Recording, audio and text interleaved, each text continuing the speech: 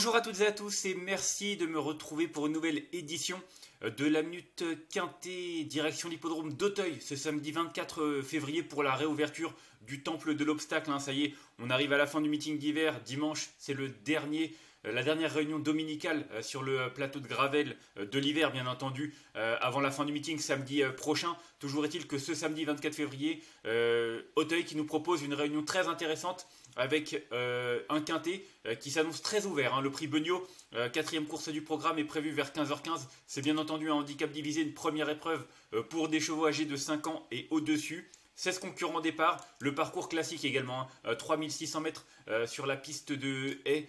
Euh, de la butte Mortemar. Voilà pour les conditions. Alors on a pas mal de profils, hein. on a des concurrents qui n'ont pas été vus euh, quasiment de l'hiver et qui euh, font une petite rentrée, d'autres qui ont couru à Pau ou à Cagnes. Donc, c'est toujours difficile un petit peu de déchiffrer ces, handicaps de début de saison. en tout cas, ça nous promet un, beau spectacle.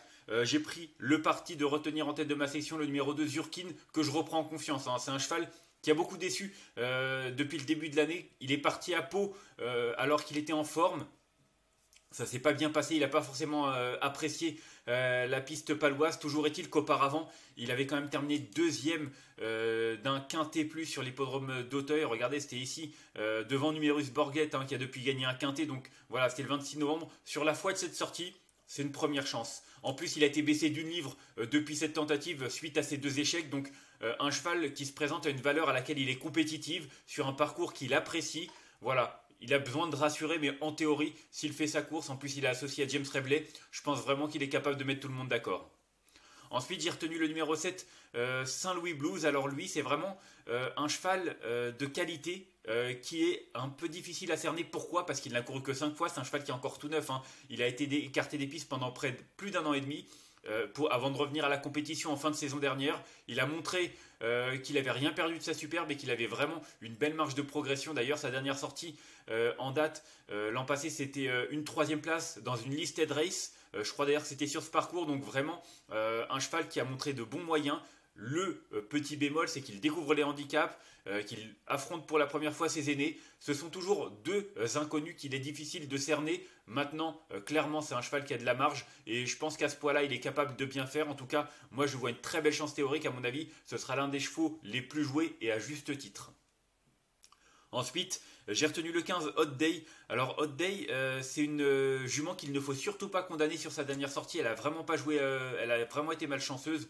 Auparavant, elle avait terminé deuxième, voilà, c'était ici, du prix à Pierre Estremeret, un quintet disputé sur l'hippodrome de Pau en début d'année. Donc la compétitivité à ce niveau-là, elle l'a. Euh, la forme ne fait aucun doute. Hein. Euh, je vous l'ai dit la dernière fois, elle a été vraiment malchanceuse en, chutant euh, suite à une gêne devant elle. toujours est-il que Hot Day, elle a de la qualité. Maintenant, encore une fois, il y a un petit bémol. C'est quoi? C'est qu'elle découvre l'hippodrome d'Auteuil. C'est jamais évident, mais c'est une jument de 7 ans qui a quand même été rodée en province. Son entraîneur, c'est un homme habile. Je pense que s'il a décidé de la présenter désormais sur l'hippodrome d'Auteuil, c'est qu'il la pense capable de rivaliser dans le temple de l'obstacle. Donc moi j'y crois. En bas de tableau, elle bénéficie vraiment d'un engagement favorable et je pense que ça peut être un avantage avec ses 63 kg euh, pour pouvoir jouer au moins une place sur le podium. Ensuite, euh, j'ai retenu le 4 Six One. on le connaît, Six One, c'est un cheval de, qualité, c'est un cheval qui est régulier, qui est confirmé à ce niveau surtout. D'ailleurs, il avait terminé troisième euh, de cette épreuve l'an passé, donc un cheval qu'on ne présente plus. Maintenant, il a un petit peu plus de poids que l'an passé, c'est pour ça que je le retiens seulement quatrième, mais il a prouvé qu'il était compétitif à cette valeur, c'est pas forcément un problème, et moi j'y crois. Euh, associé à Charlotte Pritchard, moi je pense qu'il est capable plutôt pour une 3-4ème place. Je pense pas qu'il soit capable de lutter pour la victoire, mais en tout cas, il a son mot à dire pour une place clairement, sans aucun doute. Ensuite, euh, j'ai retenu le numéro 11, euh, Gilou Jagen. Euh, qui a remporté euh, un handicap euh, cet hiver sur l'hippodrome de Pau et qui a prouvé hein, dans la course référence, regardez le prix René Crameil le 22 janvier dernier, qu'il était encore capable de bien faire malgré le point en plus. Il battait notamment Zurekin hein, qui a été décevant ce jour-là, mais c'est pour dire que Gilou Jagen, en tout cas, il est compétitif à cette valeur. Alors, un petit peu comme pour d'autres, il n'a pas trop de référence à euh, du côté euh, d'Auteuil. C'est le seul petit bémol, mais clairement, c'est le deuxième atout de Louisa Carberry qui peut réaliser un gros coup avec Zurikin et, ce Gilles Jagen. Moi, j'y crois vraiment. Il est associé à Félix de Gilles. Euh, je crois d'ailleurs que Félix de Gilles, c'est la, dernière, la cravache d'or sortante. En tout cas, je pense que c'est un tandem qui devrait être très très efficace et qui semble en mesure de jouer un très bon rôle à l'arrivée de ce quintet. Ensuite, j'ai retenu en sixième position le numéro 9, Giloukat, euh, qu'il faut reprendre en confiance. Hein. Dernièrement, c'était un lot qui était quand même euh, plutôt bien composé. Euh, c'est un cheval qui a montré de la qualité, notamment dans cette catégorie. Alors, un petit peu comme pour d'autres, il n'a pas trop de références hein, du côté d'Auteuil. Ça m'ennuie un petit peu.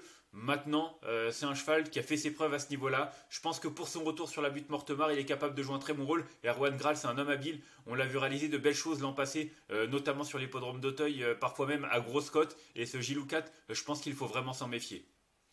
Ensuite, en septième position, j'ai retenu le 6, invité de marque. Invité de marque qui a remporté euh, un handicap hein, en dernier lieu. Maintenant, il euh, faut voir ce que ça va donner à un pénalisé. Maintenant, je crois qu'il est en, 57,5. Euh, je pense qu'il est capable de bien faire. Il avait fait l'arrivée, je crois, de, de, Quintet à Hauteuil, en tout cas de gros handicap en 55 ou 55,5, je ne sais plus exactement la, valeur. Je crois que c'est 55, euh, cinquième d'un gros handicap sur ce parcours. Maintenant, euh, le cheval a quand même euh, progressé hein, depuis ses dernières sorties à Hauteuil. Je pense qu'il a encore un petit peu de marge à ce niveau-là, pas forcément pour jouer les premiers rôles, mais plutôt pour une place. Et enfin, en huitième position, bah, j'ai retenu là, c'est un numerus Borgette. Difficile de savoir de quelle marge il dispose maintenant. Euh, il est pris quand même en valeur 62, il porte 72 kg, c'est pas rien. Il vient de remporter le quintet référence euh, le mois dernier euh, devant invité de marque Gilou Jagen Virekin. Donc un cheval qui est en forme, qui s'entend bien avec Bertrand Lestrade, ça aussi ça a noté puisque c'est le tandem qui est reconduit maintenant. Faut voir avec ce poids. Moi, je pense pas qu'il ait une grosse marge de manœuvre, je vous le cache pas. Je crois que c'était un cheval qui était d'ailleurs passé par la case réclamée, même s'il a montré de la qualité dans les handicaps et qui méritait de remporter son quintet. maintenant, je pense que sa tâche se complique vraiment. Et enfin, en cas de nos partants, j'ai retenu le 5, euh, Gilles Pam. Difficile de le situer un petit peu. Euh, il a montré quelques petits moyens en taille, mais en steeple. Hein. Il a couru de très très bons lots en steeple euh, sur la butte Mortemar. Maintenant, en haie, il a également montré de la qualité. Dernièrement arrêté, c'est le seul petit bémol. Je suis un petit peu dans le doute avec lui, c'est pour ça que c'est seulement un regret. Mais s'il réalise, s'il montre son vrai visage, je pense qu'il est capable de jouer un rôle intéressant à l'arrivée de ce quintet. On va faire un petit récapitulatif de ma sélection avec le numéro 2 Zurikin que j'ai retenu en tête euh, devant le numéro 7 euh, Saint-Louis Blues. Ensuite en troisième position le 15 Hot Day devant le numéro 4 Six One. En cinquième position j'ai retenu le numéro 11 euh, Gilou Jagen devant le numéro 9 Gilou 4. Le 6 invité de marque et l'As Numerus Borgette. Et en cas de non partant le numéro 5 Jigstar Pam. En conseil de jeu pour moi Zurikin faut le reprendre en confiance avec euh, James Reveley sur le retour sur son parcours de prédilection. Pour moi, il est capable de remettre les pendules à l'heure. Le 7, Saint-Louis Blues, c'est un cheval de qualité. Pour moi, il est également capable euh, de réaliser de très bons débuts face à ses aînés et dans cette catégorie. Et même, euh, pourquoi pas, s'imposer. Et puis le 15, Hot Day, qu'il faut reprendre en confiance. Même si elle découvre l'hippodrome d'Auteuil, sur ce qu'elle a montré l'avant-dernière fois et sur sa situation en bas de tableau, je trouve qu'elle a vraiment une très belle carte à jouer. Donc 2, 7 et 15, mes trois préférés dans cette épreuve. Si vous avez des petits doutes, par rapport à Hot Day parce qu'elle découvre Auteuil. Six One, c'est également une très bonne base. Euh, un cheval qui connaît parfaitement ce parcours et qui est compétitif à cette valeur. Pour moi, pour une 3, 4, 5e place, c'est vraiment une base impérativement euh, excellente. Voilà pour ce quintet. On va passer du côté du prix du Cantal. Hein. Des surprises. Hein. Euh, Follow Me Flash s'est imposé, mais derrière Filou de la bon. Il était trouvable, mais dans Turgo, c'était pas évident. Tout comme Isiatou, qui n'avait pas fait grand chose depuis longtemps. Et Feu de Révolte, euh, un petit peu pareil. Donc voilà, un quintet surprise. En tout cas, Top Prono qui vous indique le tiers, c'est dans l'ordre. Hein. Près de 780 euros. Donc euh, une très belle journée. Puis des trios de part et d'autre. Plus de 500 euros pour un trio. Un autre à 436.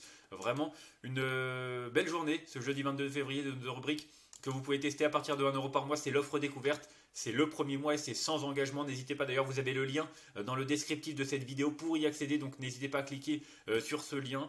Euh, vous pouvez également cliquer sur le deuxième lien, qu'il s'agit de notre formation exclusive plusieurs heures de vidéo pour apprendre à faire le papier de manière indépendante. C'est vraiment euh, une formation qui a été faite pour vous, donc n'hésitez pas également à cliquer sur ce deuxième lien. Moi, je vous remercie d'avoir suivi cette nouvelle édition de la Minute Quintée. Si vous avez aimé cette vidéo, n'hésitez pas à la liker, à la partager ou encore à vous abonner à notre chaîne YouTube en cochant la petite cloche. Vous pouvez également laisser votre pronostic en commentaire. Il y a un tirage au sort parmi tous les commentaires chaque mois avec à gagner 6 mois d'abonnement VIP au site turf-fr.com. Moi, je vous retrouve demain pour une nouvelle édition. Euh, ce sera du côté de Vincennes, bien entendu, le prix de Paris, hein, dernier sommet de l'hiver euh, de cette réunion dominicale. En attendant, je vous souhaite de bons jours à tous et une excellente journée. Bye bye.